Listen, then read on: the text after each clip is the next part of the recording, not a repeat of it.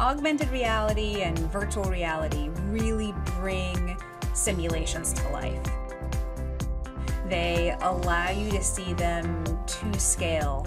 They allow you to see and notice details in a 3D environment that you might not have seen when you were looking at it in a 2D frame. An immersive experience removes uh, the barriers between the user and the 3D and digital world by physically engaging you as a person and enabling the kind of interactions one would have in a real context. The Living Heart Project is uniting cardiovascular researchers on this mission to develop and validate highly accurate personalized digital human heart models. One of the first things we did was to design holographic and virtual reality experiences presenting the work that was done. It was a huge success.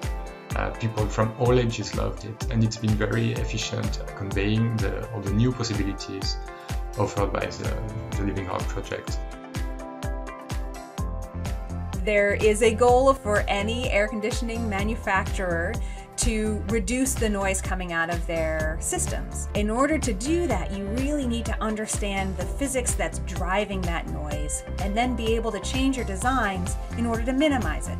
And being able to visualize this airflow immersively helps, uh, helps to make better decisions during the design process. It puts the user at the center of this process, which is very good, and helps uh, communicate the complex phenomenon behind the, the functionality.